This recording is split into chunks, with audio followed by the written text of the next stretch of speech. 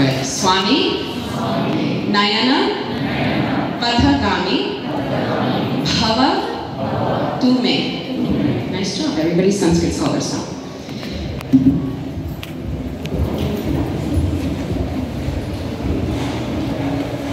Shri Jagannath Baldev spot महारानी की जय श्री प्रभुपाद की जय